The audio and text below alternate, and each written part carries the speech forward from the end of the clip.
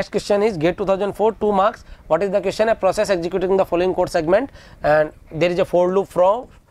i1 to n, and fork has been called. What is the meaning of fork? Fork is a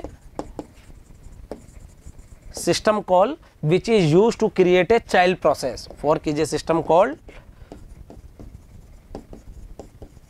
used to create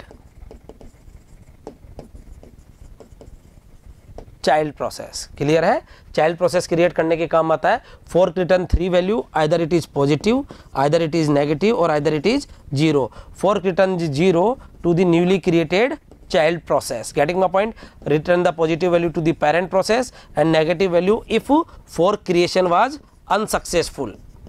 unsuccessful getting my point so what is the total number of process is create is asking about so in fork total number of new process new या child process is equal to total number of child process created equal to 2 raised to power n minus 1 where n is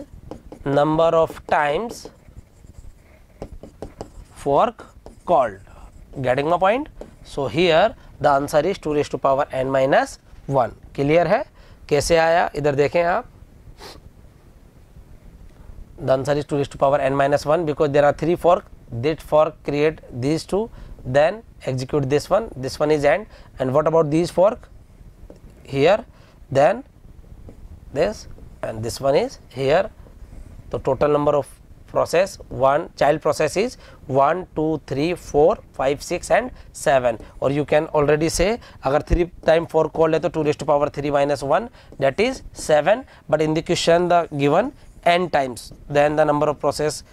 child process equal to 2 raised to power n minus 1